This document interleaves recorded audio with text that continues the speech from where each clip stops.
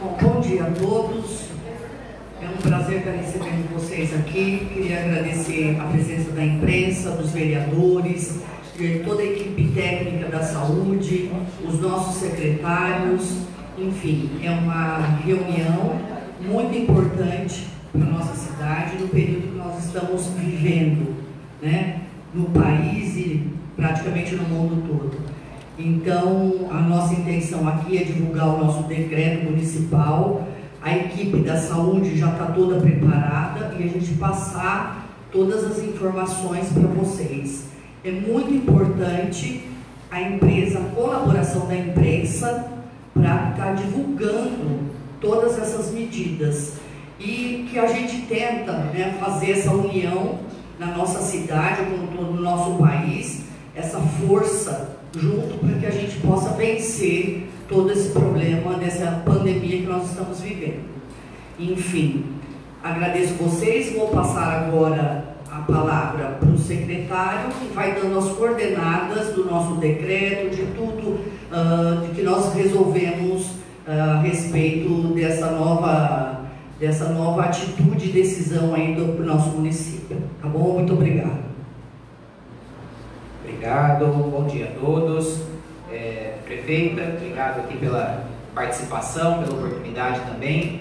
Resolvemos chamar essa coletiva de imprensa para poder falar um pouquinho sobre o cenário do coronavírus, sobre o Covid no Brasil, no estado de São Paulo, aqui no município de Catanduva e as medidas que a gente tem tomado, medidas administrativas, medidas técnicas. Estou aqui com a Daniela, que é diretora do Departamento de Vigilância em Saúde, Dr. Ricardo Santaella, médico infectologista do, do Departamento de Vigilância em Saúde também, Dr. Fábio Macchione, representando o Hospital São Domingos, é, a Fundação Padre Albino teve uma intercorrência, não pôde estar presente, é, e com a professora Tânia, Secretaria de Educação, é, que também é, tem uma, uma grande importância aí junto é, nossas, as nossas iniciativas de, de combate e contenção do coronavírus. É, eu vou apresentar brevemente qual que é o nosso cenário, de uma forma bastante resumida, eu acho que todos os senhores já têm acompanhado pela mídia, pelos jornais, a situação do coronavírus, mas eu vou trazer as informações mais atualizadas possíveis aqui para vocês. Nas medidas que foram adotadas e estaremos à disposição também para tirar qualquer dúvida é, da imprensa e, e, dos demais presentes aqui. Tá? Primeira coisa, é, o nosso cenário epidemiológico. No estado de São Paulo, que é onde mais nos afeta, é, onde a gente tem um volume de informações muito maior, do município de São Paulo, São Paulo capital, eu trouxe o último boletim aqui. É, não tem alguém no computador? Pode passar uma tela, por favor? Isso. Este é o último boletim da Secretaria Estadual de Saúde é, do Estado de São Paulo. Saiu ontem à tarde este boletim é, e nós 52 casos confirmados de Covid no Estado de São Paulo. A maior parte desses casos no próprio município de São Paulo e os outros principalmente nos municípios da região metropolitana, ali no entorno é, do município. Acabamos de receber uma notícia que provavelmente, inclusive hoje às 13 horas temos uma coletiva de imprensa do governo estadual sobre um possível primeiro óbito de coronavírus em São Paulo. Acabou de sair, então nem tivemos tempo de acompanhar isso ainda, mas é, isso já abre um gancho aqui para uma coisa que eu quero dizer. Tudo que nós tratarmos aqui é muito dinâmico. Condutas que nós tomamos na data de ontem, decisões que nós tomamos hoje, pode ser que amanhã ou daqui dois dias isso precise ser modificado. E isso é natural frente à epidemia que a gente está vivenciando. Então, as informações são atualizadas dia a dia e as condutas, as medidas de controle também devem ser atualizadas nessa velocidade. Então, é muito importante que a imprensa, a população fique atenta é, com que a equipe técnica, Secretaria de Saúde e o Comitê de Enfrentamento, que eu vou explicar um pouquinho mais adiante, é, vão soltar rotineiramente, quase que diariamente, é, atualizações sobre esses casos. Então, este é o cenário do Estado de São Paulo. Passe uma tela, por favor. ao cenário do município de Catanduva. Tá? O município de Catanduva conta com três casos suspeitos. Não temos casos positivos confirmados de coronavírus em Catanduva. Temos apenas três casos suspeitos. É, diferente do município de São Paulo, que, que já está com a chamada transmissão comunitária, é, que é impossível identificar de onde é, doença, aqui no município de Catanduva a gente ainda está numa fase de investigação. Tá? Temos poucos casos suspeitos, mas já temos cidades da região com uma quantidade de suspeitos muito maior que a nossa, como por exemplo São José do Rio Preto, Votuporanga, Aracatuba. Inevitavelmente isso vai chegar em algum momento. São adotadas, elas têm como principal retardar essa epidemia. Que é, retardando essa epidemia, diminuindo o volume de pacientes ao mesmo tempo sendo tratados pelo sistema de saúde, a gente garante uma maior capacidade de atendimento dos nossos serviços, sejam eles de atenção básica, hospitalar, é, enfim. Falando um pouquinho dos casos, até para não estender muito a questão da apresentação, lembrar que a maior parte dos casos de coronavírus são casos leves e podem ser atendidos na atenção básica, é, podem ser atendidos nos consultórios é, e esse paciente vai fazer o acompanhamento, o seu isolamento domiciliar. Uma pequena porcentagem dos casos, aí de 15% eh, até 20%, acaba necessitando de hospitalização, seja ela em enfermaria ou em UTI, e isso é conduta médica. Cada caso vai ser analisado é, para que seja oferecido o tratamento adequado. Nessa situação, a gente tem os chamados grupos de risco. Acho que todo mundo aqui já ouviu falar que os idosos, para essa patologia, é o nosso grupo de risco. Para pacientes com mais de 80 anos, a taxa de mortalidade do coronavírus chega a atingir 15%. Então, é uma taxa de mortalidade alta. E ela vai caindo conforme vai caindo a idade também. Então, o nosso ponto de atenção está principalmente nos idosos. Tá? A gente tem que ficar muito atento a isso. É apenas tratamento de suporte.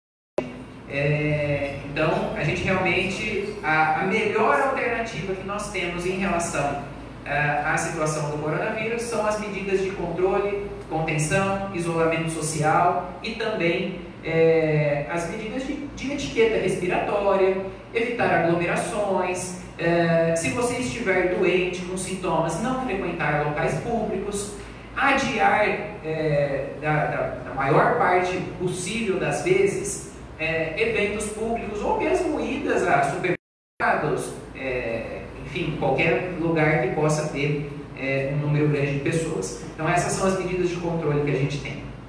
Bom, para poder operacionalizar um pouco desta situação, é, o município de Catanduva tomou uma conduta muito similar à conduta adotada pelo governo do estado de São Paulo e publicou um decreto na data de ontem, está na imprensa oficial de ontem, decreto 7756, de 16 de março de 2020, medidas é, de controle, de contenção, de Dentre essas medidas, as principais são as seguintes: dentro do âmbito da administração pública, suspensão das atividades, eventos de qualquer natureza, esportivos, culturais, é, que são de gestão do governo municipal, é, a partir é, des, desta data, gradualmente e definitivamente a partir da semana que vem.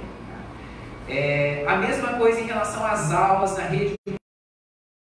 A professora Tânia vai poder falar um pouquinho disso depois. É, desculpa, Secretaria Municipal de Educação vai poder falar um pouquinho sobre isso. Esta semana, as escolas estão funcionando.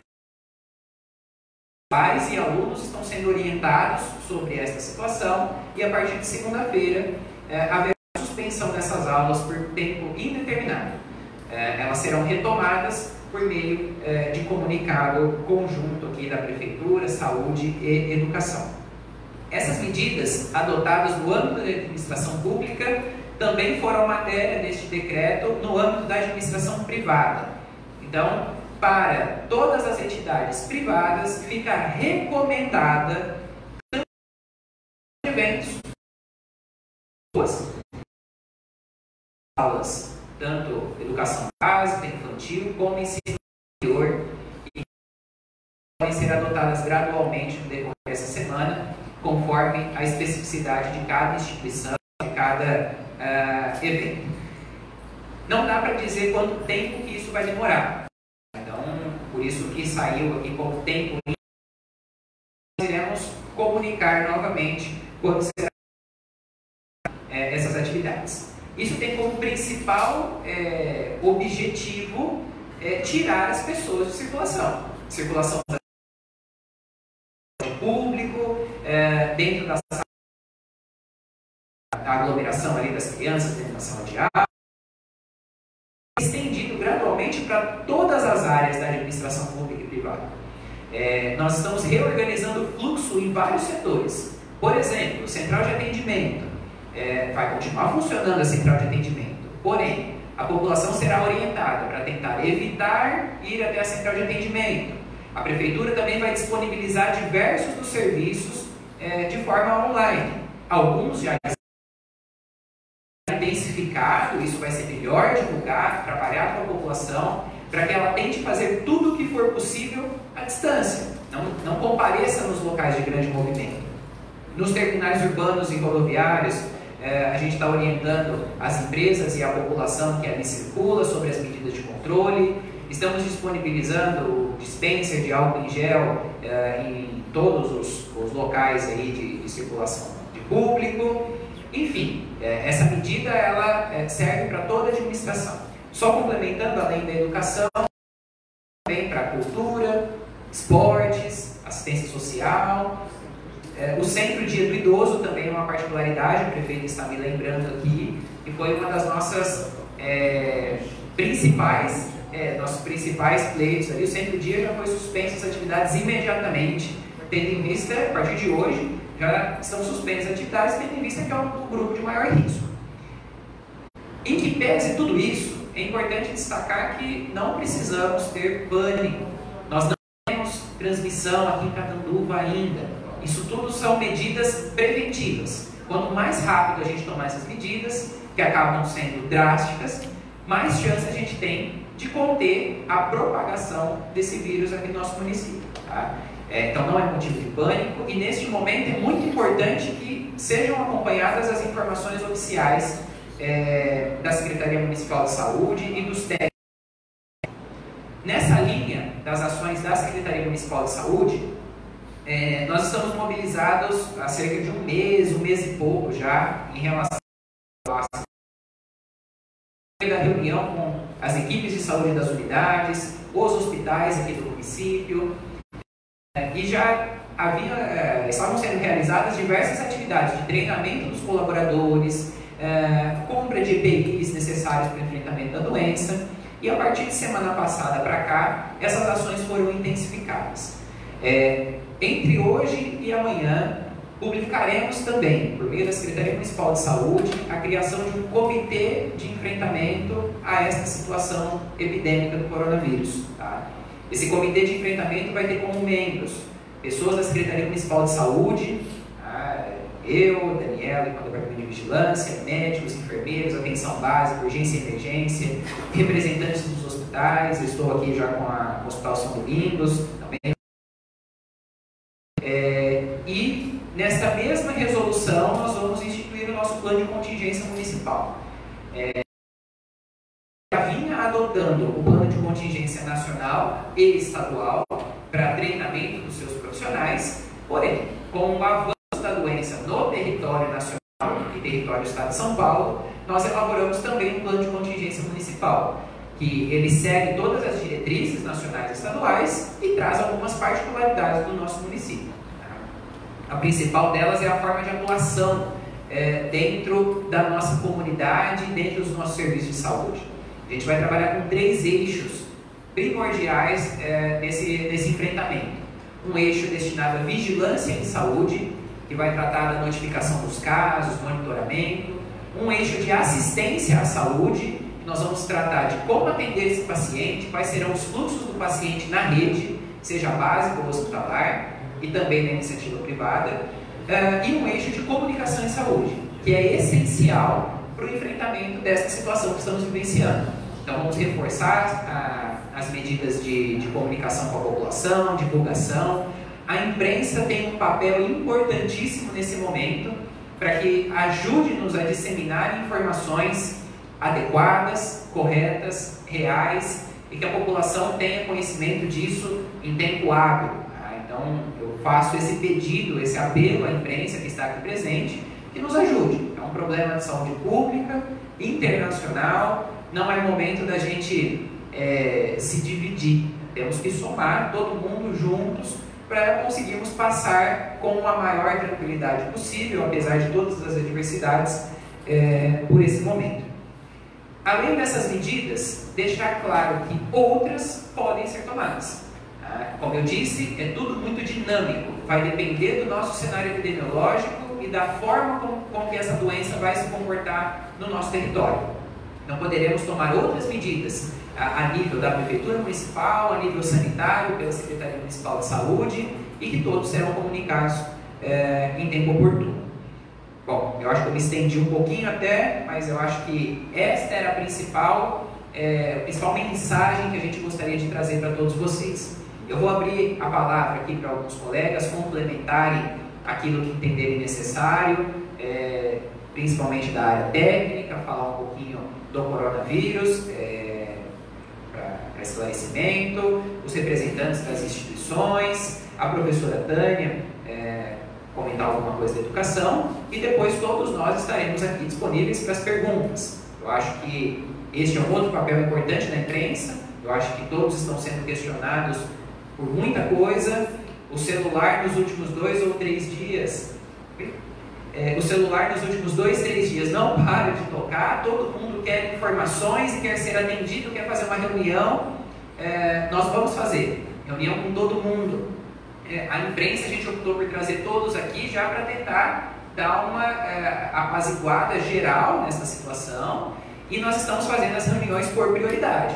Ontem a gente começou com Secretaria de Educação, Cultura, Esportes. É, na parte da tarde a gente já fez reunião com clubes que têm grandes eventos organizados. Hoje a gente tem reunião com instituição de ensino superior, com asilos, que a gente vai ter um grande trabalho com é, as ILPIs, os asilos também. Então, durante a semana toda, a gente tem reuniões com entidades, com pessoas, com grupos, é, porém, nós precisamos também de tempo para conseguir chegar em tudo isso. Então, é, essa divulgação na imprensa já vai ajudar a pelo menos dar uma adiantada nessa situação. Então, é, da minha parte era isso, eu vou passar aqui para os demais colegas. Bom dia a todos. Uh, a Secretaria de Educação, ela segue as diretrizes adotadas pelo Estado, segue as diretrizes adotadas pela Secretaria de Saúde do município. Nós ficamos estudando a maneira mais tranquila da gente poder chegar aos pais, não causar pânico, desespero, porque a gente lida com as crianças. Ontem o secretário da Saúde esteve na Secretaria de Educação é, passando todas as informações técnicas para os nossos diretores de escola. Eles tiraram todas as dúvidas. Depois disso, nós orientamos os diretores como eles tratariam do assunto junto à comunidade. Então, já chegou para mim reuniões pela manhã, mais responsáveis, e tá, está tendo um tranquilo por parte da necessidade do momento, requer realmente que a gente suspenda as aulas a partir de segunda-feira, dia 23.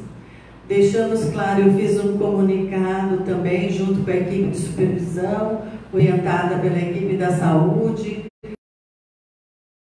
as faltas dos alunos, as crianças das creches não terão sua vaga perdida, que é a grande preocupação de alguns pais que têm nos procurado, nem o programa Bolsa Família também, as faltas serão todas abonadas.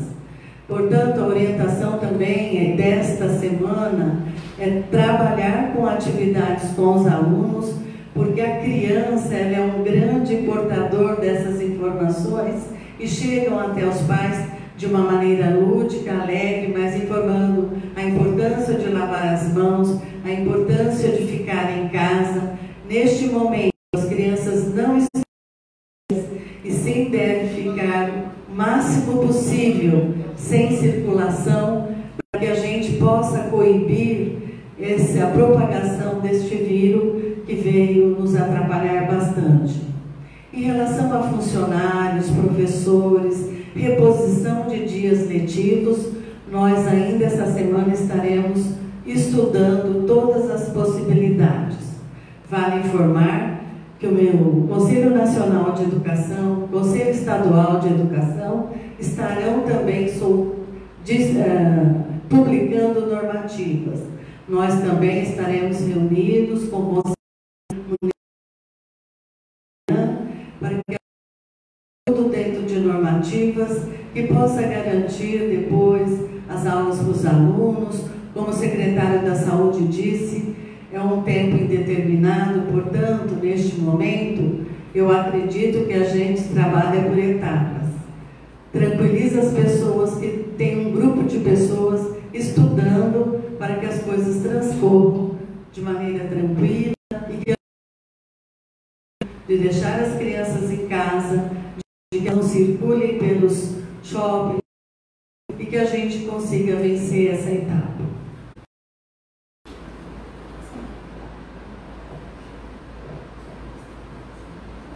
Eu não sei, eu acho que seria melhor a gente ficar para a assim, de perguntas agora. Acho que já foi apresentado, né? É melhor, né?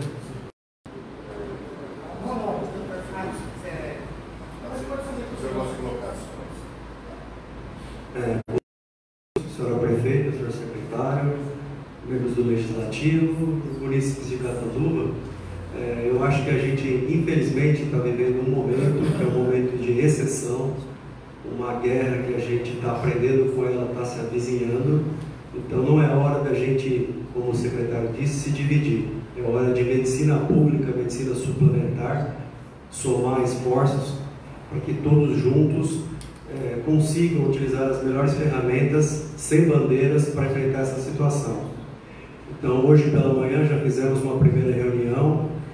É, nós vamos fazer um trabalho conjunto tanto do ponto de vista de comunicação, recurso financeiro, estrutura suplementar, saúde pública, para todos juntos conseguimos ter a melhor, melhor evolução para Catanduva e região.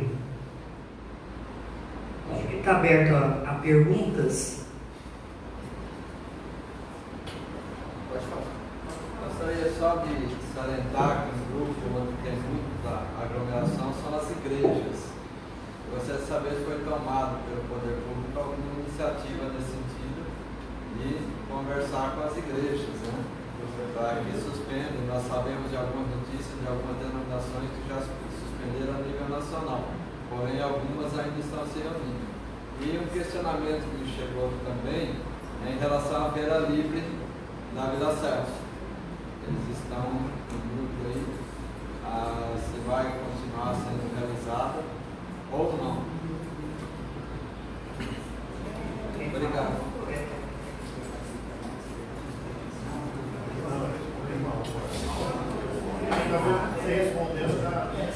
Bom, perfeito. É, a gente estava só discutindo se nós iríamos abrir para várias perguntas e responder tudo de uma vez ou uma a uma, mas decidimos aqui ir uma a uma. Em relação a entidades religiosas, tá? é, elas entram nas disposições desse decreto em que foram recomendadas a suspensão das atividades com aglomeração de público. No entanto, como as entidades religiosas é, têm esta particularidade, são muitas, e elas têm representações. Então, a Diocese representa a Igreja Católica, associações de pastores que representam todas as igrejas, ou, a maior parte delas é, evangélicas, a mesma coisa para além das disposições do decreto, a Secretaria Municipal de Saúde vai promover reuniões com estas entidades representativas. Não dá para fazer reunião com todas as igrejas e centros, mas nós vamos fazer reunião com os dirigentes, as entidades representativas, reforçando essas medidas.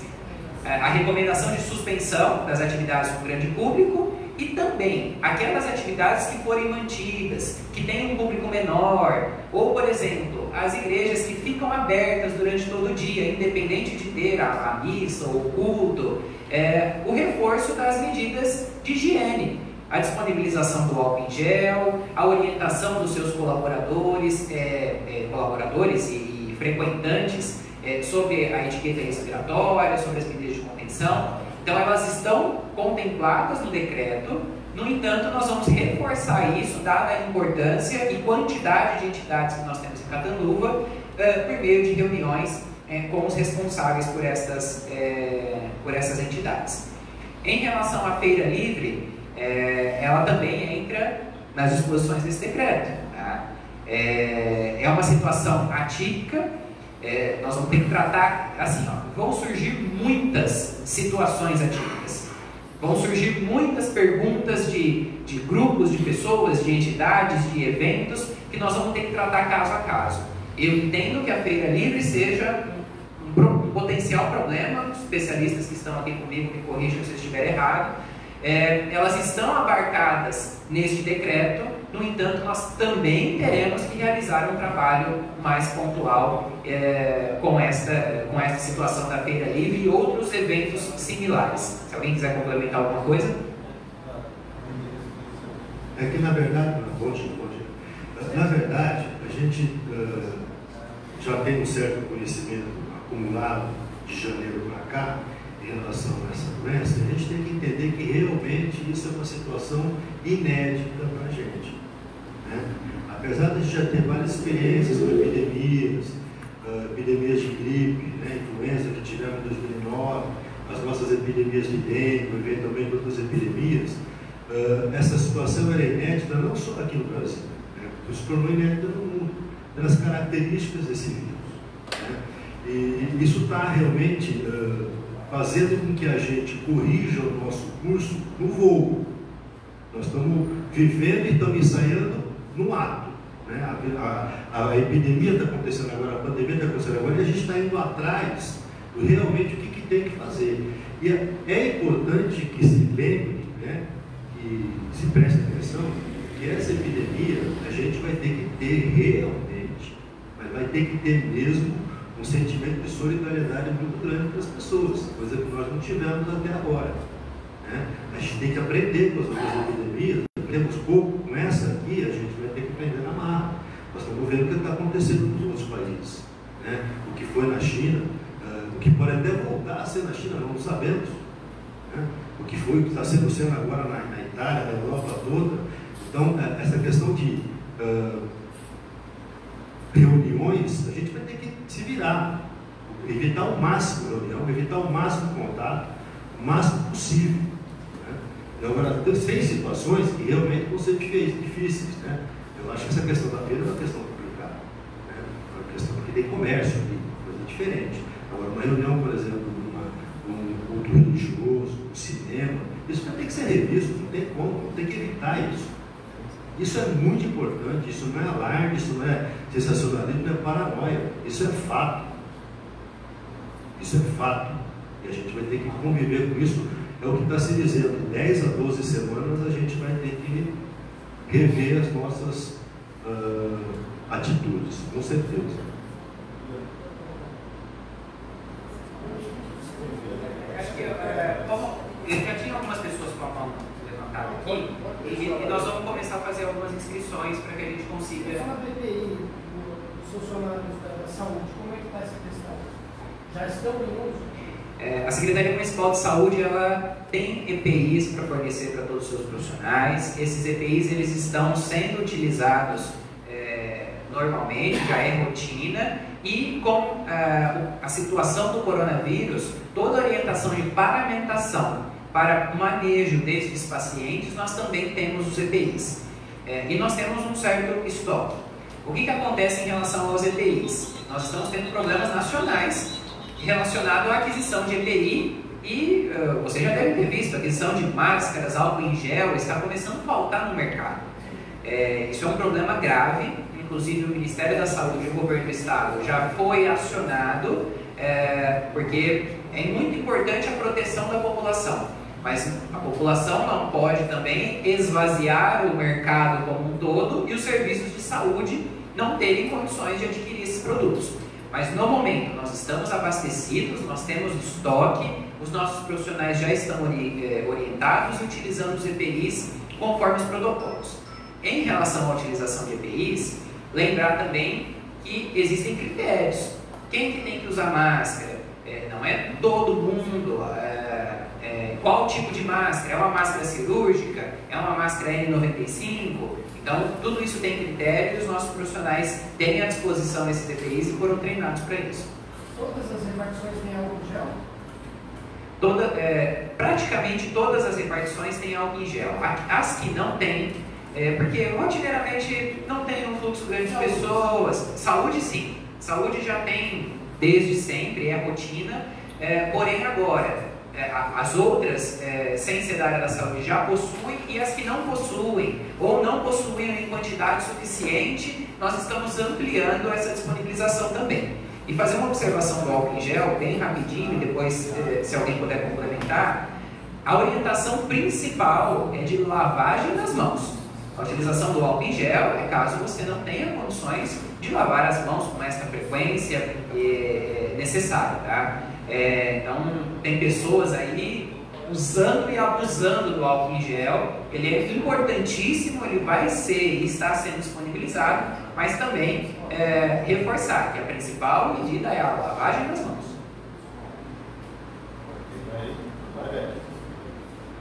Então, primeiramente, parabenizar né, a prefeita, a sua equipe toda, eu acho que está enfrentando um problema sério, como o que aí com a velocidade adequada, então parabenizar mesmo, reconhecer o trabalho, é, dizer que conversei com vários vereadores e todos eles, sem exceção, manifestaram apoio também né, a essa crise que vai enfrentar, então pode contar, tenho certeza, com o legislativo como um todo, né, é, é momento de força, realmente, né?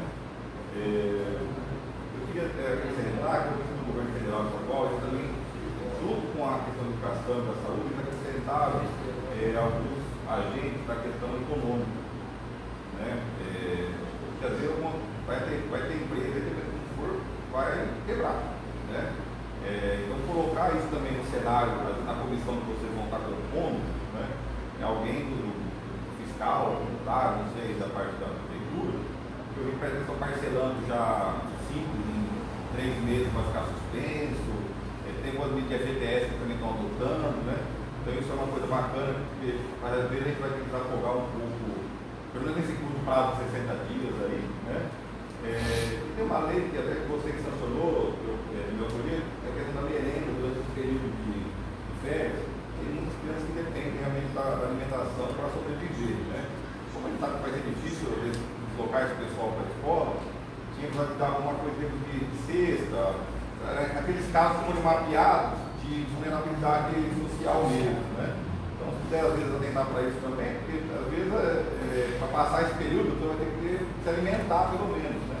Então, é nessa linha. Com certeza. A gente, dentro da assistência social, vê toda a família que é Bolsa Família, que tem a vulnerabilidade social, a gente está pensando nesse, nessa questão aí da alimentação das crianças. Alguém da Câmara, poder agilizar essa integração aí dos poderes, né? Ótimo. Pode ser o presidente, no caso, não tem problema tá. quem indicar. Excelente, excelente.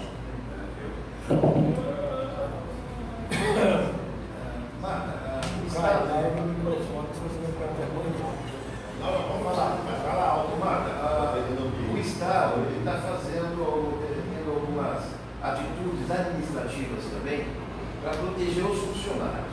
Os sexagenários, por exemplo, estão sendo dispensados do serviço público, não dispensados, para trabalhar em casa. A DE já fez isso, a Educação do Estado já fez isso.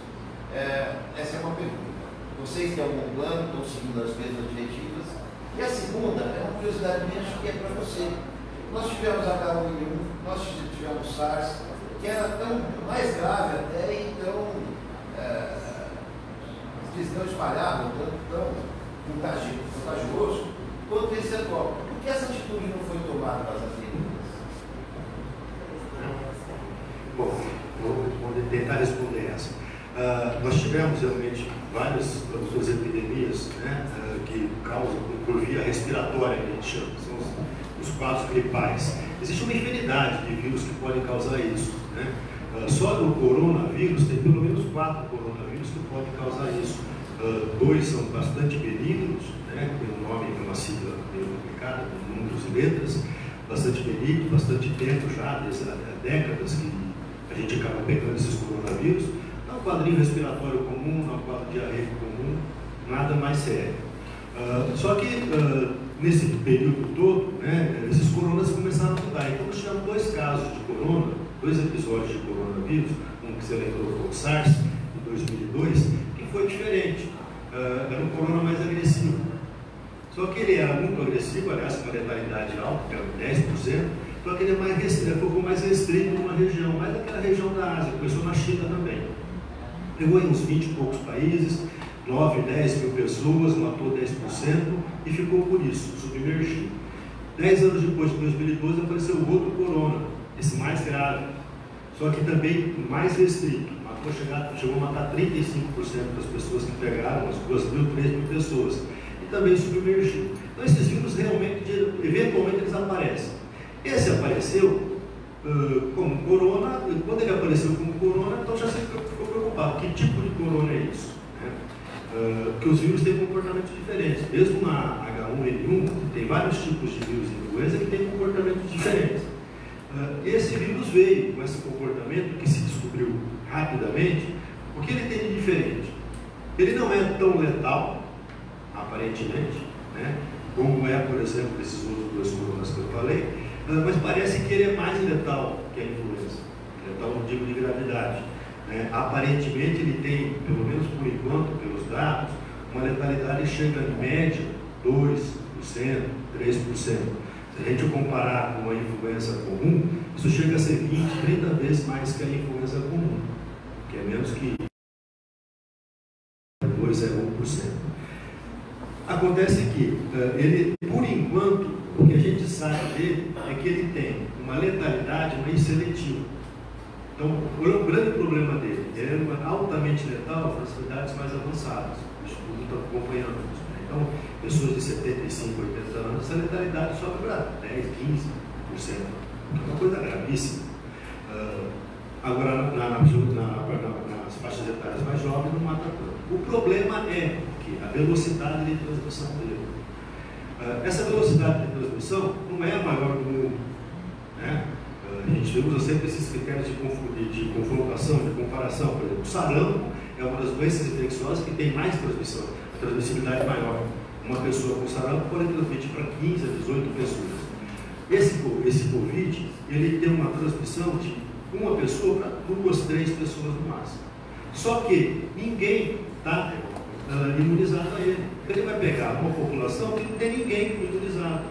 Né? Sarampo, varicela, que são muito mais transmissíveis, a mesma influenza, já está muita gente imunizada. Então não vai pegar. Agora, esse vai espalhar. Já espalhou. Então, praticamente 80% da população vai acabar pegando esse vírus. É o que se espera. Uma grande maioria, 80%, 90% vai ser benigno. Então, a grande característica é essa. A diferença desse vírus é por isso uh, você vai ter 10, 20% de uma população muito grande infectada que vai ter caso grave. Esse é o problema. Só aproveitando, senhor, vai falar um pouco para o leigo, saber se ó, vai no postinho, para ele saber como que ele está envolvendo a doença dele, porque às vezes ele, ele, ele tem preocupação, você tem que procurar ele no UPA, como que é o, é, esse é o problema. É o perigo, como que é assim, desenvolvendo a doença, é a evolução. Isso, esse é o problema que a gente está discutindo. Porque a dengue tem que, não, o cara começa a ter questão hemorrágica, ele sabe que tem que correr mesmo, né? Agora, como que é a. É, aí é o seguinte, é, como, como eu disse, a maioria das pessoas vai ter um quadro que a gente chama de síndrome gripal. Se a gente lembrar o que foi a H1N1, a síndrome gripal é aquela história, é febre, geralmente uma dor de garganta, tosse, mal-estar, né, é, coriza, sintomas desse tipo. O que a gente tem solicitado é uma coisa muito comum. Né? Não, hoje, hoje em dia, por exemplo, quem aparecer com isso não deve ser corona ainda né? deve ser o repito e tal. Mas de qualquer maneira, o corona vai correr dessa maneira. Então, o que a gente vai solicitar e está solicitando já é que quem tiver um quadro desse, né, não procurar pronto-socorro, não procurar o UPA, né? procurar no máximo, ou se tiver com médico, consultório médico, ou então atenção uh, serviço público, PSF, uh, USF, né? dá, dá mais ou menos do, do que está ali. Ali é que vai ser decidido o que fazer com esse paciente. É, agora, se o paciente está sentindo isso, a pessoa está sentindo isso, mas além disso está sentindo desconforto respiratório, dispneia, aquela falta de ar, vai puxar o ar, o ar não vem direito. Esse paciente tem que ter prioridade para ser atendido. Certo? Esse paciente tem que correr para o hospital. UPA e hospital, isso sim. Agora, evitar quem não está com isso, correr para outro hospital, porque senão vai colapsar o serviço público, é coisa complicada. E em questão só do funcionário de 60... está desde o começo, o primeiro a suspender. Eu só vou responder a pergunta aqui do, em, em relação aos funcionários acima de 60 anos, por enquanto, é só é, é, como é muito dinâmico, nós, como o secretário falou, nós não temos ainda essa transmissão. Então, isso daí ainda está na espera do funcionário de 60 anos, ele tomar as devidas precauções, entendeu? Nós estamos andando. À medida que isso for acelerando, nós vamos estar, como disse, dia a dia, estar tá modificando a, a nossa comunicação e tomando providências. Caio. Ai, tem.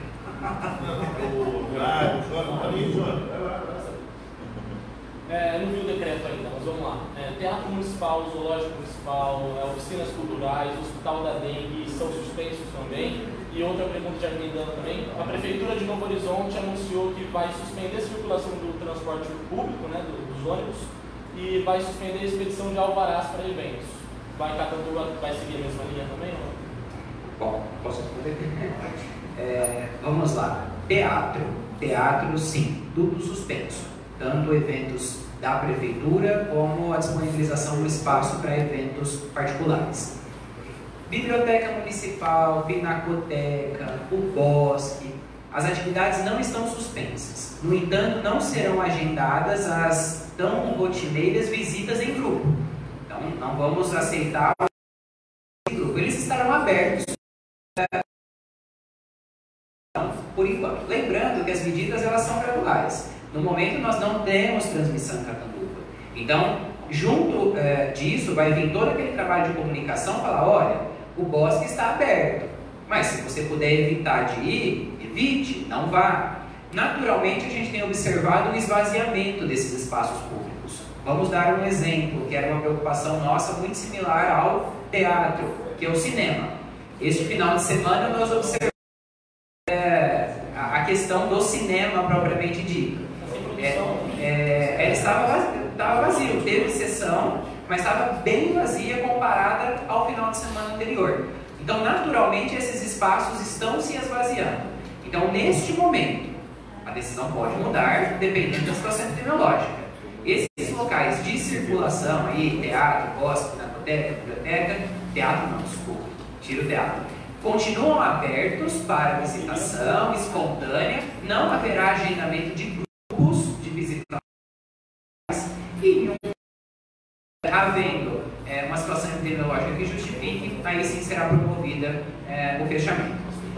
É, o Hospital da Dengue continua funcionando como é, todos os serviços de saúde vão continuar funcionando normalmente. É, todos eles estão sendo treinados e capacitados sobre as medidas de controle. A mesma coisa do ônibus. Até me estranha essa situação de susto público. É, é, então, o transporte público. No entanto, já conversei com a secretária de trânsito, nós vamos promover muito em breve uma reunião com as empresas, não só do transporte urbano, como do rodoviário também, reforçando as medidas de limpeza, de controle, a disponibilização do álcool em gel, a limpeza das barras que as pessoas seguram e janela aberta, janela aberta e a divulgação. Olha, se você precisar mesmo se locomover, o ônibus vai estar, vai estar preparado com todas essas condutas, mas tente evitar, tente não se locomover. Não foi suspensão do ônibus, eles limitaram a metade do, do da capacidade. Ah, perfeito. Ok. Eu só queria colocar que na assistência social nos CRAS também os grupos de reuniões socioeducativas, aquelas aulas também foram suspensas. Cursos daqui do... Expedição de alvarás. A expedição de alvarás, ela não foi tratada desta forma, suspender a expedição de alvarás. No entanto, o decreto ele traz uma recomendação para não realização de eventos. Então, se nós tivermos a solicitação de algum evento, a equipe da saúde vai avaliar a possibilidade ou não de realização deste evento. Tem público, não tem público, qual é o volume de pessoas, e aí nós vamos analisar caso a caso. Bom dia a todos, todas, é, Catador em Foco, né? Então, assim, primeiramente eu vou fazer minhas palavras de curso aqui, parabenizar né, pela rapidez, pelas atitudes que estão sendo tomadas. A gente percebe que a situação é grave, mas algumas coisas assim. É, eu acho que a gente está numa guerra, na verdade. Né? E a gente está na guerra, me corrijam os especialistas, com um amigo, um inimigo que a gente não conhece e que a gente não, não sabe como ele vai se comportar daqui para frente. Né?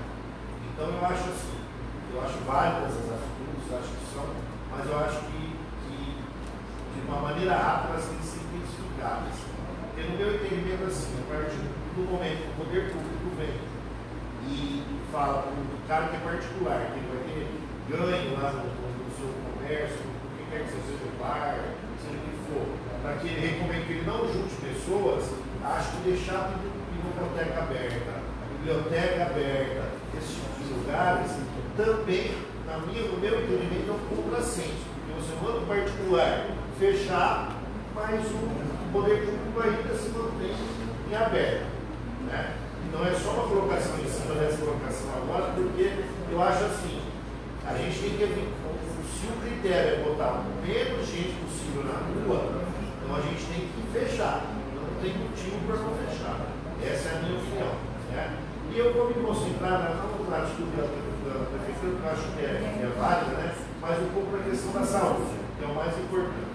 Então, primeiro, o Santa Era, quero cumprimentá-lo, Santa Era, sabe, o respeito que a gente tem de você, pelo Fábio Macchione, né, um especialista nesse assunto.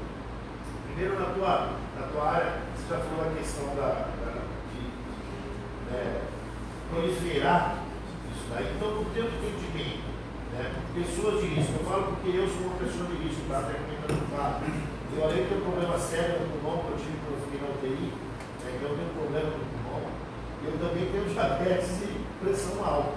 Né? Então, assim, só isso. Então,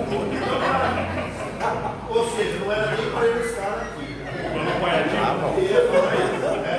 Então, assim, eu quero fazer de mim a, a, o exemplo, porque acho que na mesma situação que eu estou, existem milhares de pessoas aqui na cidade. Então, a recomendação para essas pessoas exatamente é qual é, né? E, e em relação ao Fábio, né, que é a questão do pulmão, dessa tecnologia, que é a tua especialidade, né, como o vírus age, por que, que ele, a letalidade dele é realmente no pulmão.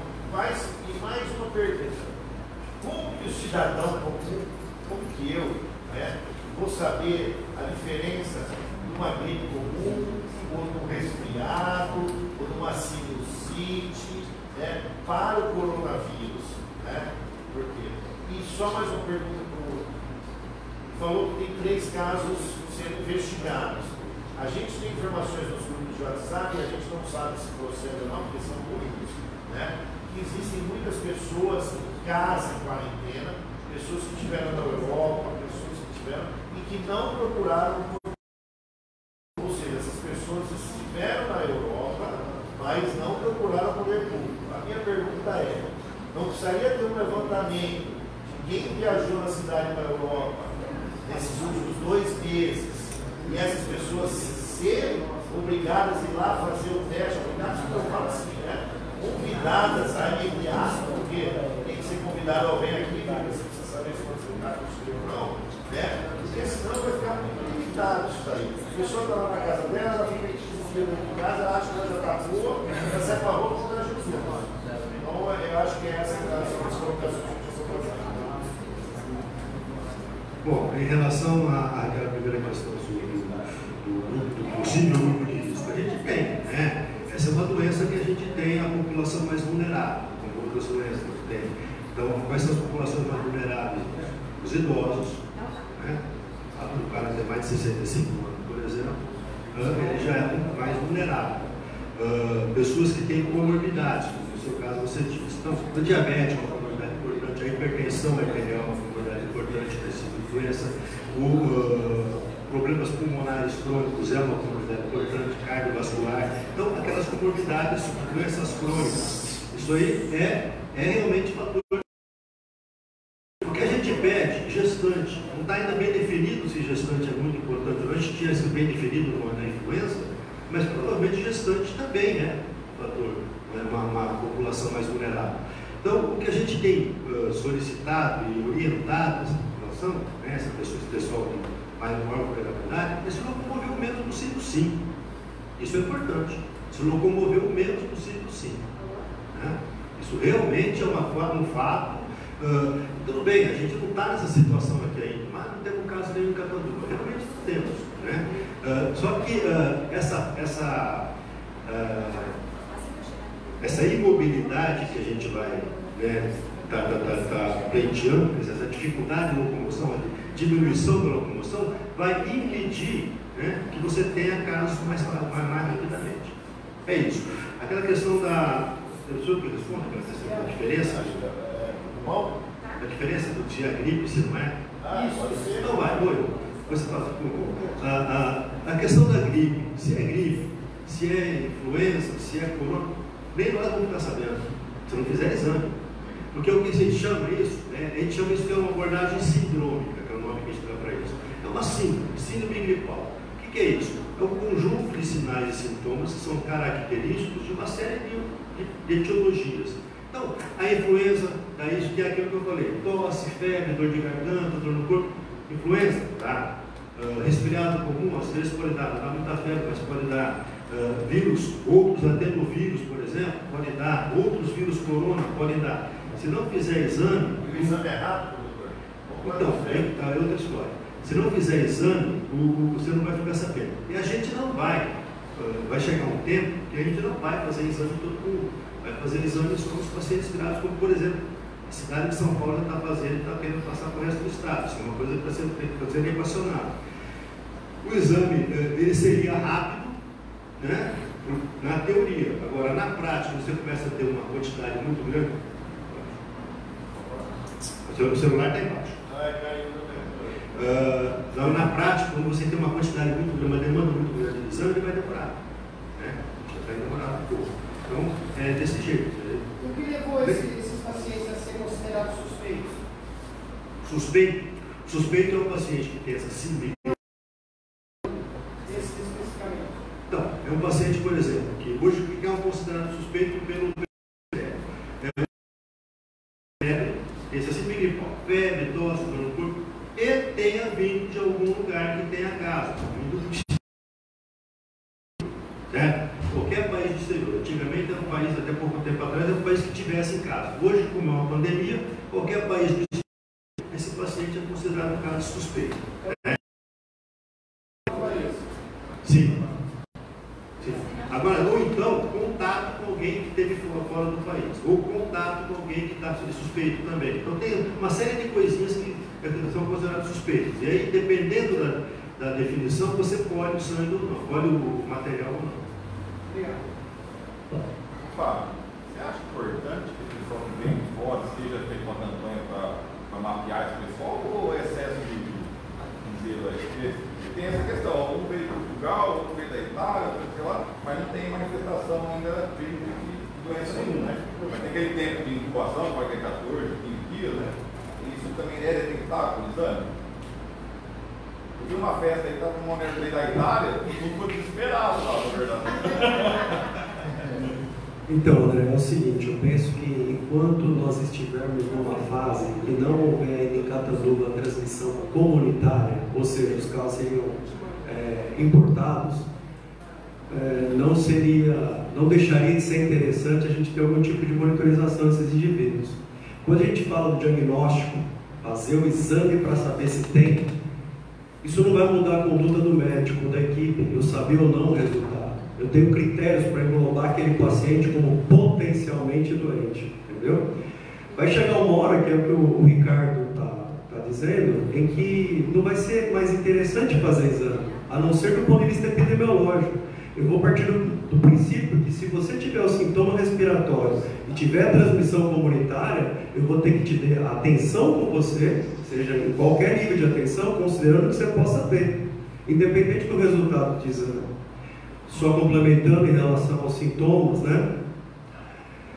Grande parcela, 80, 85% dos pacientes, tem uma forma muito frustra e se confunde muito, até mesmo com resfriado, com sintomas de dor de garganta, uma tosse seca, uma coriza. Né? Esses 15% até 20% que necessitam de assistência hospitalar, eles apresentam alguns sinais clínicos que chamam a atenção. Né? E isso a gente está treinando os colaboradores, principalmente no que se refere ao sintoma de falta de ar e oxigenação. Tá? Então, esses pacientes vão necessitar de um suporte mais avançado. E é nesses pacientes que nós vamos ter que ter o suporte normalmente hospitalar. A gente, inclusive, desencoraja é, o aporte da população para o sistema de saúde.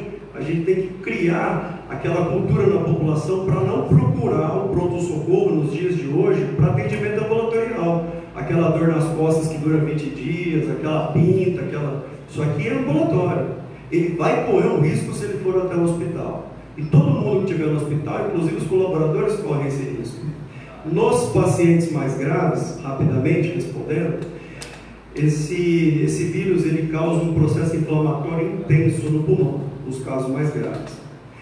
Em alguns grupos de pacientes, principalmente nos pacientes com comorbidades e nos idosos, que a gente acredita que o sistema imunológico é mais deficiente, esse processo inflamatório vai criando uma alteração no parênquima pulmonar que impede a troca gasosa.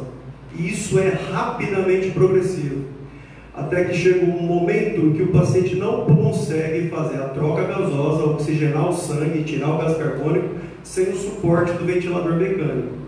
E esse é o grande entrave que nós vemos pelo mundo. O que, que a gente tem visto no mundo? Não problema de letalidade, mas transmissibilidade. Quando a gente pega uma população sensível, como todos nós somos, a gente vai ter um N de pacientes muito grandes. Esse N de pacientes muito grandes, com 15% precisando de hospital, e 5, 10% precisando de ventilação mecânica, e normalmente quando vai para ventilação mecânica são duas a quatro semanas de ventilação mecânica, é, um, é a principal preocupação que nós, gestores de saúde, nós estamos tendo. Então, são pacientes que, os pacientes que ficam graves, eles precisam de uma, de um, de uma, de um, de um nível de assistência que é extremamente crítica e, e, e sofisticada. Não sei se eu respondi a sua questão. Bom dia, em nome da prefeita. Dia, em nome da prefeita, Rodrigo Caminhas. E parabenizo a prefeita pela, pela chamar a imprensa para fazer uma coletiva, para explicar que a gente também possa transmitir isso à população. Parabenizar a prefeita pelo decreto, seguindo a orientação do Ministério da Saúde e da Secretaria de Saúde do Estado de São Paulo. Tem duas, dois pontos me preocupam, eu gostaria de que dentro da Assembleia do FAB eh, pudesse informar.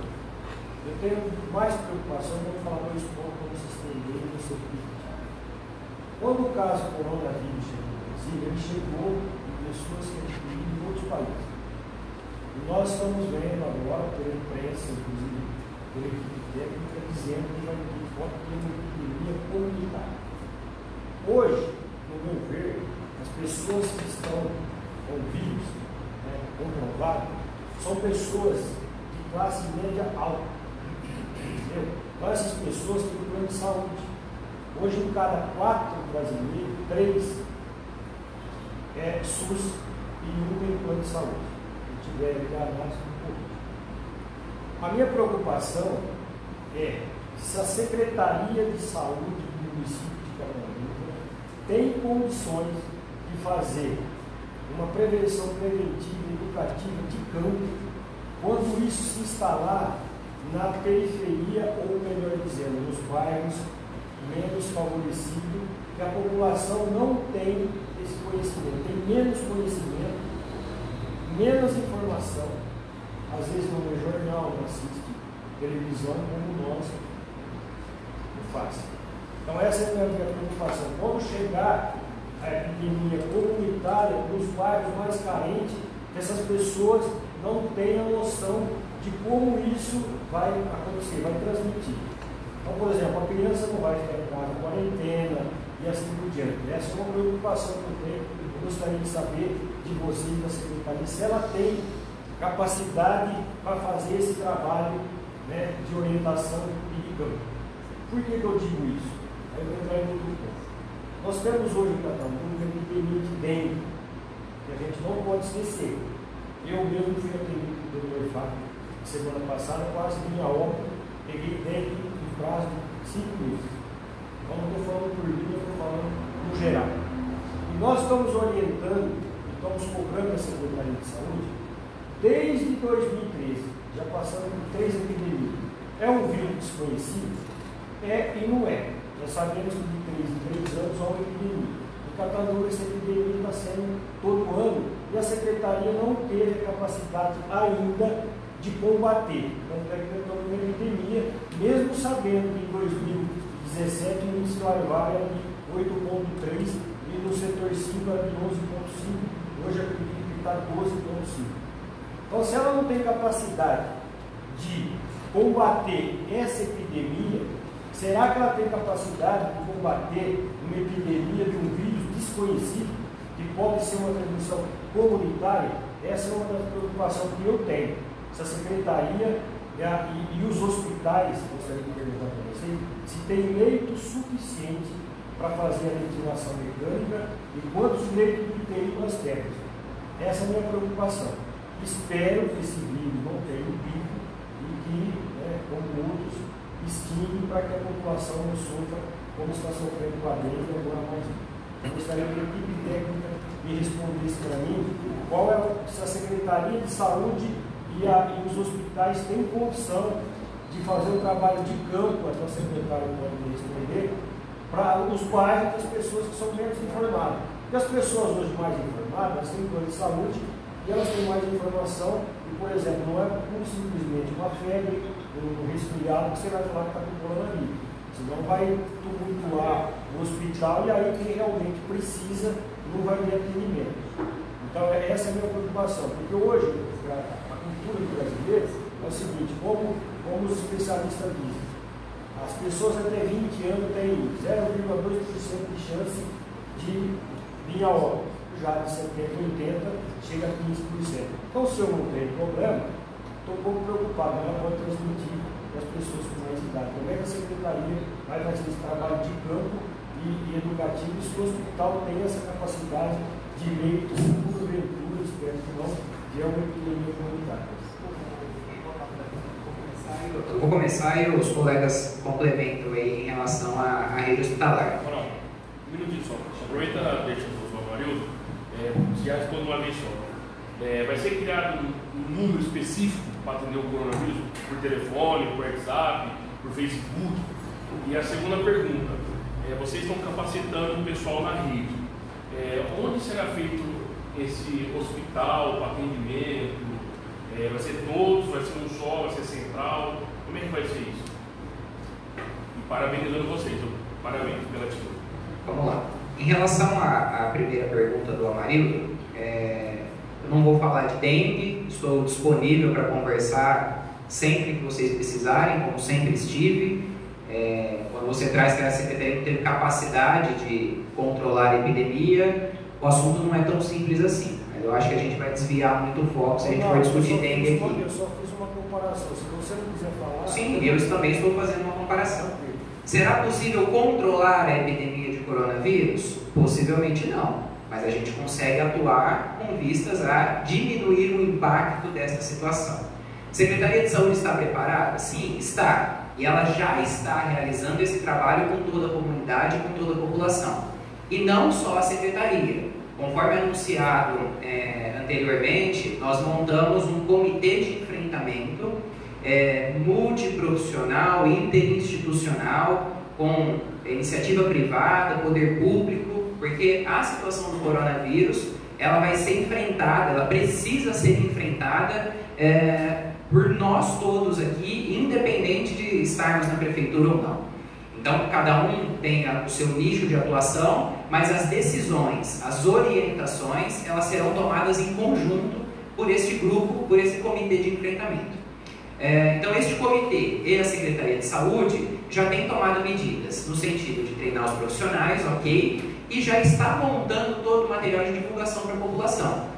Então, é, divulgação desde redes sociais, imprensa, é, é, é parte de, de, é, material de marketing escrito, cartazes, panfletos. É, precisamos da imprensa para essa divulgação. Nós temos que ganhar, conquistar permeabilidade. Hoje, todos os jornais que vocês ligam na televisão tá falando alguma coisa de coronavírus, tem programas exclusivos para falar de coronavírus. Eu tenho certeza que as rádios aqui do nosso município vão contribuir uh, e vão abordar esse assunto. Uh, a gente vai levar isso para as nossas redes sociais e o nosso trabalho de formiguinha, digamos assim, entre os profissionais de saúde, os agentes comunitários, para com essa população. Então, informação não vai faltar. Então, a gente tem que reforçar isso sim. É um dos eixos estruturantes do nosso plano de contingência, que é comunicação, para que essa informação chegue de maneira é, é, equânime tá? É, para todo mundo. É, uma classe mais é, favorecida aos menos favorecidos. Todo mundo tem que ter acesso a essa informação e esse comitê de enfrentamento está é, montando diversas estratégias para poder fazer essa, essa divulgação chegar. Antes de passar para os colegas para falar do, é, dos hospitais, é, número específico para atendimento de coronavírus vai ser discutido dentro desse comitê. Hoje nós já tivemos os primeiros é, comentários a respeito disso. Inicialmente, para comunicação das equipes com o comitê e com a vigilância epidemiológica. Por quê? Nós temos que lembrar que esse paciente suspeito de coronavírus, ele pode ir unidade básica de saúde, ele pode ir na UPA, ele pode ir no consultório particular, ele pode ir no pronto-socorro do plano de saúde do Olinto ou do São Domingos. É, então, são setores que, naturalmente, eles não têm uma comunicação frequente e tão clara. Então, primeira atitude que será tomada, nós vamos centralizar as informações do coronavírus na vigilância em saúde, possivelmente por um número específico para contato entre profissionais. E já foi cogitado, inclusive, a possibilidade de disponibilização de um local para contato da população com a equipe de saúde por, para esclarecimento de dúvidas, onde eu procuro, onde eu vou. É, as orientações mais gerais, elas estarão divulgadas. Mas e se tem uma especificidade que eu ainda assim tenho uma dúvida? Então, nós pensamos sim em disponibilizar um canal exclusivo para isso. Capacidade de atendimento da rede. 80% dos casos são leves. A gente vai atender nas unidades de saúde, é, na iniciativa privada, nos consultórios e vamos mandar esse paciente para casa. Ele vai ficar em isolamento domiciliar, será acompanhado. Na maioria das vezes, ainda mais se houver um aumento de casos, acompanhamento por telefone ele vai ser atendido. Se ele tiver qualquer desconforto, se ele tiver qualquer piora no quadro clínico, aí sim ele será levado para a instituição de saúde. Caso contrário, ele vai ficar em isolamento domiciliar e o acompanhamento vai ser feito por nossas equipes, provavelmente por. Em relação aos hospitais, a gente tem uma estrutura robusta aqui e de referência. É, eu vou passar para os colegas comentarem é, a respeito dessa estrutura é, e tudo depende. Eu sei que é uma situação difícil de entender dessa forma, mas temos estrutura? Estamos trabalhando para ter. Mas nós sabemos exatamente como vai ser a curva da epidemia? Não sabemos.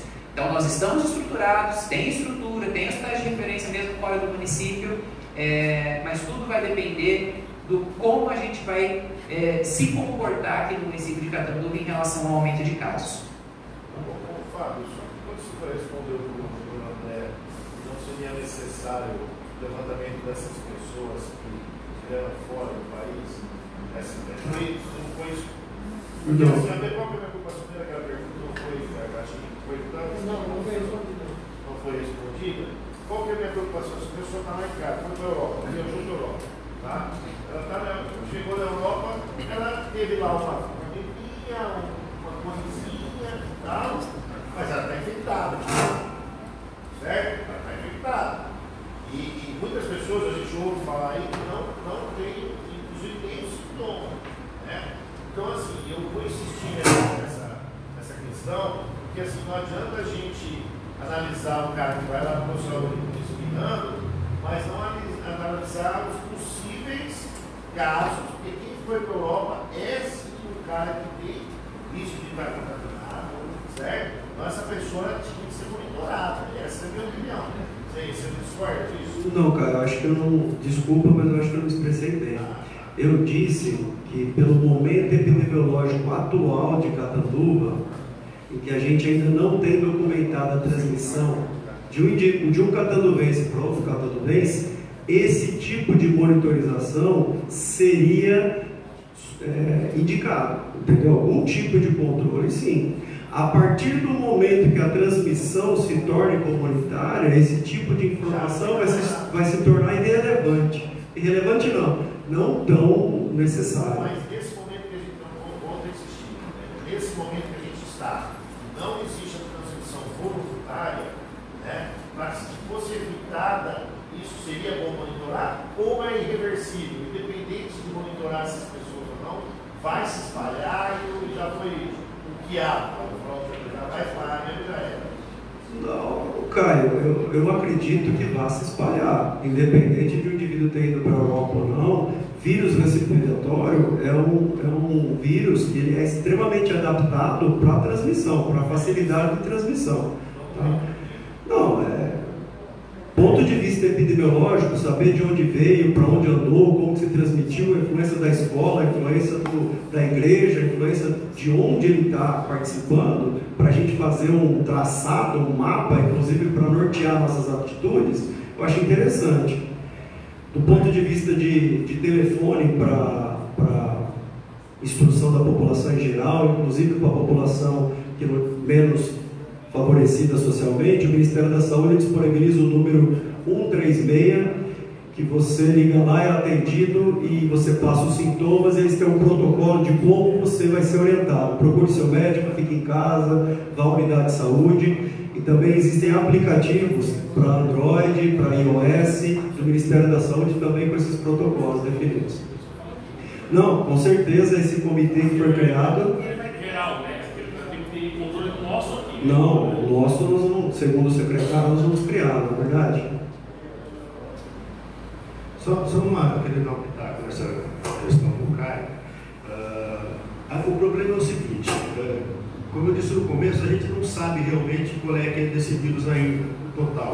Por exemplo, tem estudos mostrando que pacientes que são assintomáticos aparentemente não são transmissores, certo?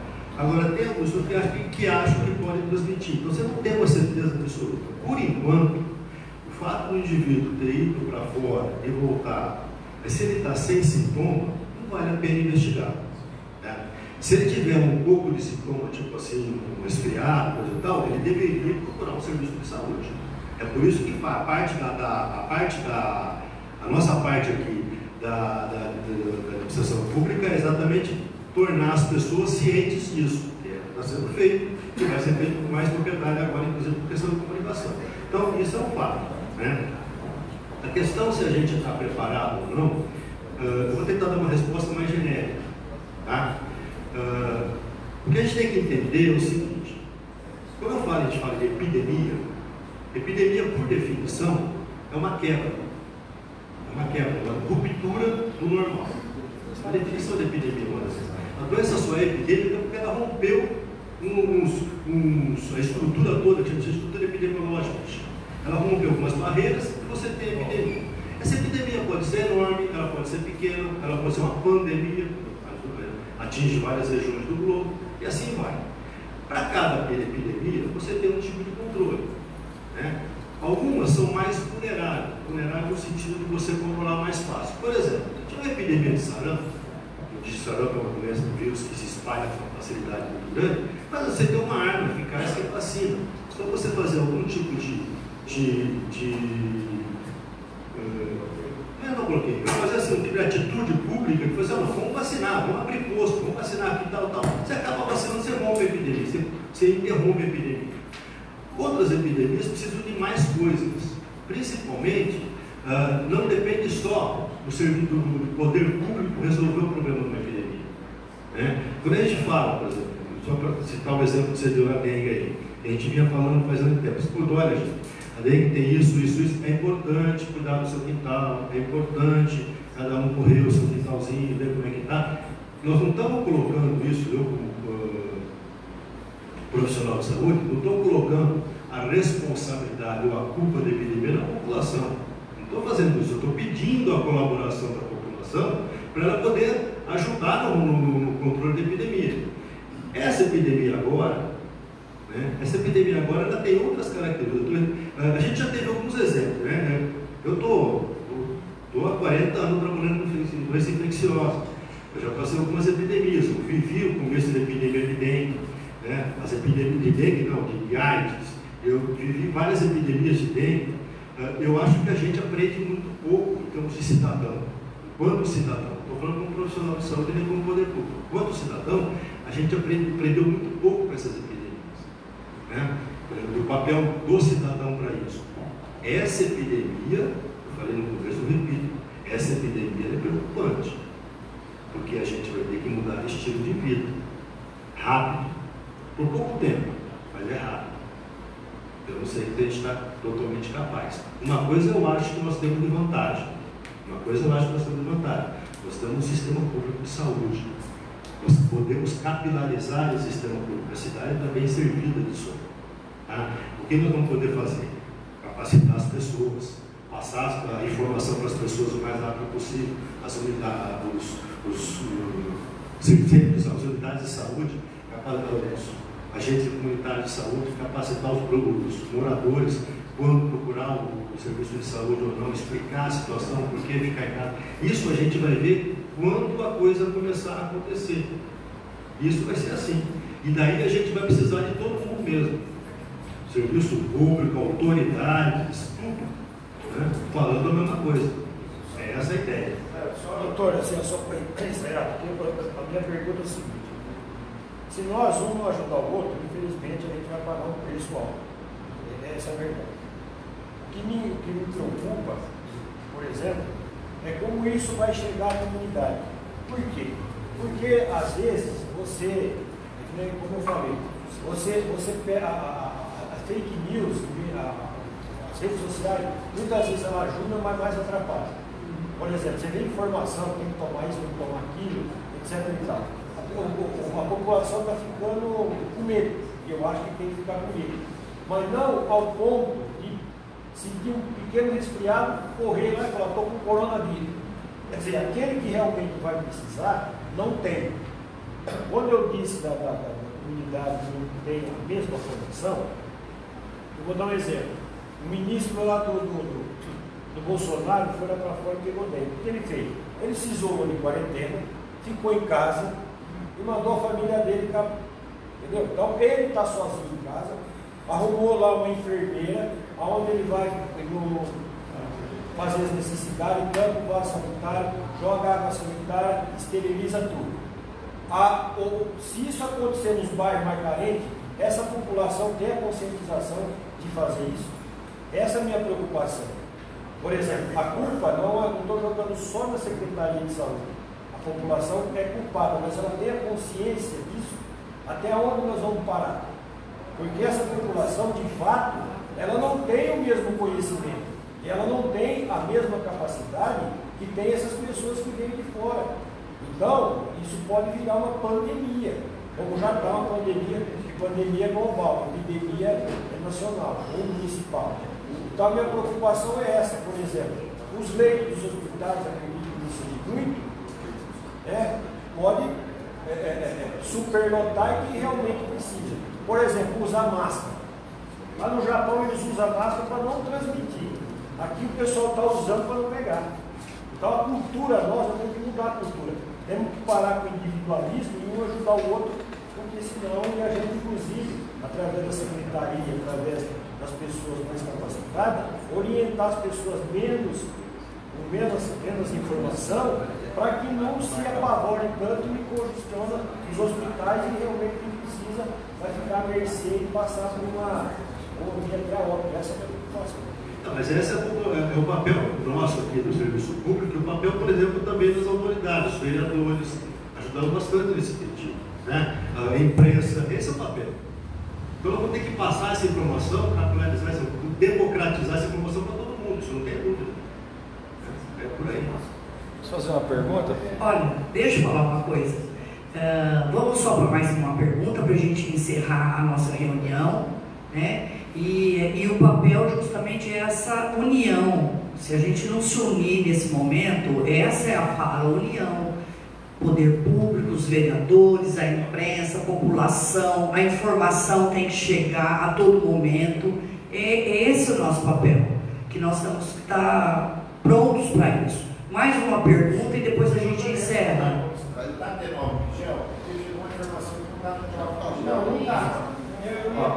Então, só complementando o que a prefeita disse, nós vamos tentar responder isso aqui rapidinho, porque, como eu disse, nós temos uma batelada de reuniões. Uh, daqui a pouquinho a gente já tem uma reunião com a Fafica, então é, a gente precisa encerrar a coletiva mesmo e nós teremos outras oportunidades dessa, a gente vai divulgar isso é, sempre. Nós vamos ter boletim quase que diário da situação para esclarecer a todo mundo. Tá? Boletim, então, Oi? Boletim no Face da Prefeitura. Isso. Os boletins serão divulgados no site da Prefeitura é, e também nas redes sociais oficiais da Prefeitura, tá? por meio do Comitê de Enfrentamento. Okay. Maurício primeiro ali. É, Maurício e Vox e encerramos, tá? Eu quero fazer um, primeiramente, ó, parabenizar vocês pela atitude, né? É, primeiramente, a gente tem que começar pela nossa casa e é louvável a atitude que vocês estão tendo agora aqui. E quando a gente fala assim, de imprensa catarinense, a gente vê, eu não vou citar nomes, a gente tem vários grupos de WhatsApp que são tendenciosos a fazer política. E esse é o momento que a gente tem que ver do lado do ser humano. Né? A gente tem que deixar, como se diz aí, todas as bandeiras possíveis do lado e ver realmente o ser humano, né? o tacanduvense, o brasileiro, a nível mundial. É, na realidade, é, não só Catanduva, como o Brasil não está preparado. A gente sabe, né, a gente não pode ser hipócrita de, de falar que nós estamos preparados, nós estamos totalmente despreparados. Como diz aí o doutor, é, nós estamos num voo, não sabendo onde a gente vai chegar. Tá? É, quando se fala de imprensa hoje, nós temos aqui um ou dois jornais inscritos e chegam quase para as mesmas pessoas. São as pessoas de classe média alta que é sempre as mesmas.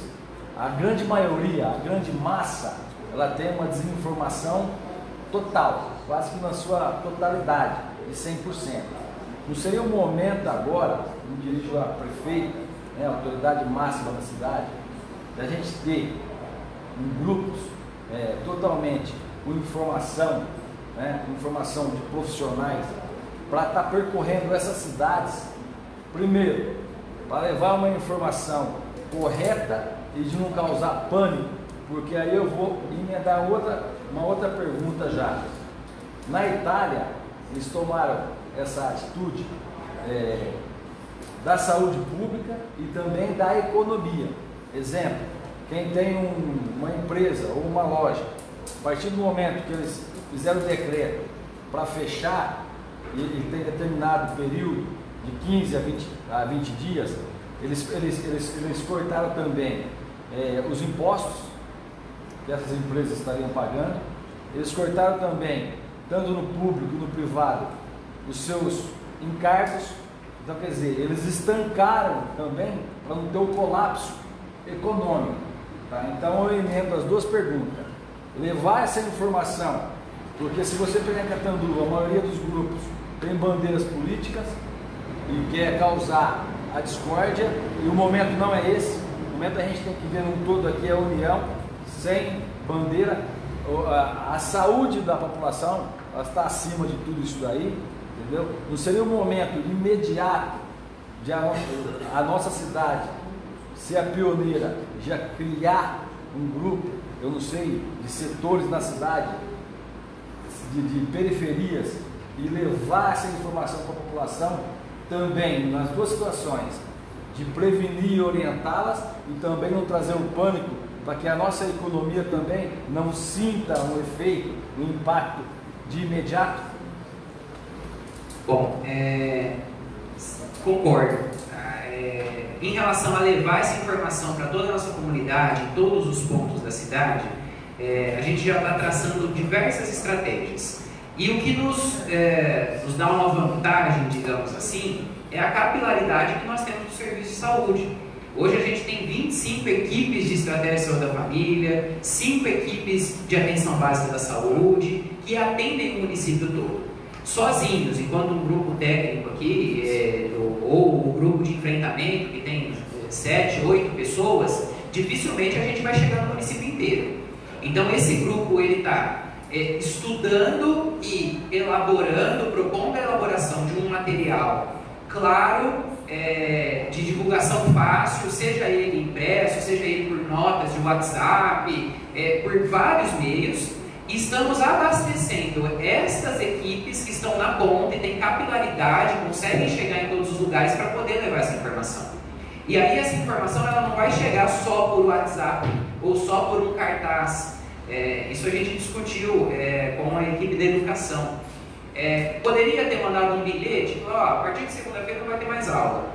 E o entendimento desses diretores, o entendimento das mães e pais de alunos, então essa informação, essa capilar que a gente está falando nos bairros, vai ser levada por um profissional de saúde, por um enfermeiro, por um dentista, por um farmacêutico, por um médico. Toda a equipe vai estar apta e capacitada a levar a informação produzida dentro do comitê de enfrentamento e serão os nossos braços na ponta para poder disseminar essa informação. Então, essa é a estratégia básica que a gente tem que seguir para poder chegar em todo esse público. É, a questão econômica, eu acredito que em algum momento pode ser necessário a gente discutir sim. Como eu disse no decreto, por enquanto é, nós não temos transmissão é, comunitária e por enquanto nós não determinamos nada para a iniciativa privada. Nós só recomendamos. É, havendo a necessidade de mudança dessas decisões, que podem ser daqui um, dois dias, como em São Paulo aconteceu, que não, não tinha transmissão, depois começou a ter, ele mudou totalmente a rotina. Então, aí sentaremos com a prefeita, sentaremos com a equipe das outras secretarias, não que nós já não tenhamos conversado, nós conversamos, todo mundo já está pensando o que pode ser feito, e ainda, como só há uma recomendação, nós não temos essa transmissão comunitária, ainda não saiu neste primeiro decreto. Nesse primeiro decreto, a medida é emergencial, suspender as aulas e eventos. Tanto que é, foi o que a professora Tânia disse. Ah, reposição dos dias, dias letivos, professor, nem discutimos isso. É, estamos pensando, agora no decorrer da semana já sai a normativa para isso, mas a primeira foi suspende. Depois a gente vê o que vai fazer com a férias, com o dia letivo. Então a gente tem que ter algumas medidas rápidas e outras que podem ser pensadas com o avanço da doença. É, a Vox e a gente fecha é, por causa dos outros compromissos, pessoal. Boa tarde. É, eu venho acompanhando a, esse, o crescimento do corona, tenho acompanhado, visto que é o mundo inteiro e a preocupação é grande porque a gente vê que não há uma estrutura ainda para enfrentar, para enfrentar o, o, problema, a pandemia. É, me surgiu aqui uma ideia, eu faço uma, um convite e uma sugestão a vocês e também quero fazer uma pergunta, se é que cabe as três coisas. A sugestão é de que a gente reúna todas as rádios, não sei se tem mais algum veículo aqui, é, nós temos um horário disponível das 7 às 8 da manhã. A gente vem falando bastante sobre corona, porém não com é, é, conhecimento que vocês têm.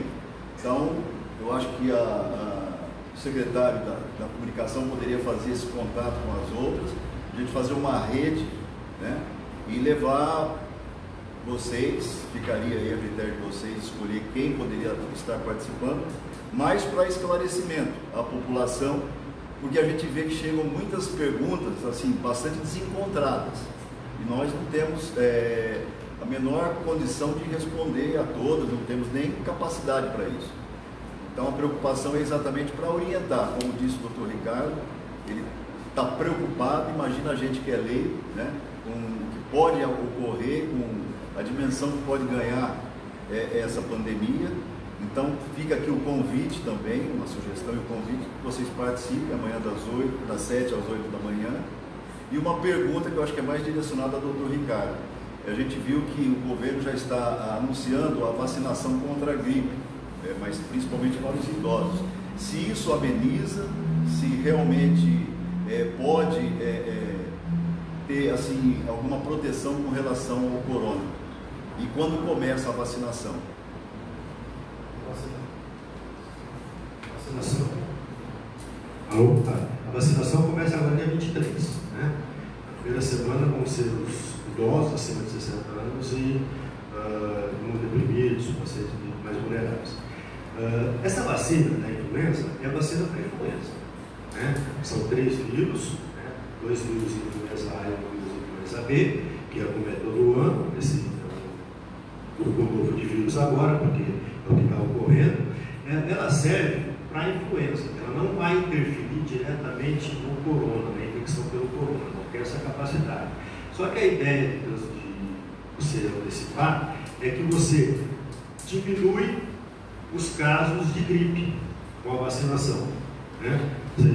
nós vamos chegar em maio, provavelmente, metade de abril maio, com um clima mais, mais ameno, mais temperado, aumentar o número de casos de, síndrome gripal. A influenza vai estar diminuindo. Tá? Então você vai ter menos confusão na coisa. Né? Então é mais por isso. Então é uma medida acertada e é por aí que tem que ser feito. Você vai só dar uma amenizada no quadro, mas não vai interferir no corona. Certo? Bom, pessoal, agradecemos a participação de todos, pois a prefeita faz o encerramento aqui, mas eu queria só relembrar, Secretaria Municipal de Saúde, o Comitê de Enfrentamento criado e que já vai ser publicado entre hoje e amanhã, ele vai manter a imprensa, a comunidade informada rotineiramente. A ideia é emitir boletins diários ou quase diários. As informações oficiais serão divulgadas assim que chegarem nas nossas mãos e a gente precisa de apoio para divulgar essa informação oficial. Teremos outras oportunidades, sabemos que tem dúvidas ainda, inclusive entre nós existem dúvidas ainda, e que a gente vai buscando a resposta disso em conjunto. Então, obrigado eh, pela presença de todos. Só encerrando, muito obrigado. Fica aberto o convite da rádio. Se o comitê quiser, né, os médicos, especialistas e tal, eu achei, eu achei uma ideia muito interessante. Está indo na rádio, especialista falando para a população. E a União vai fazer a nossa força, tá? Muito obrigado.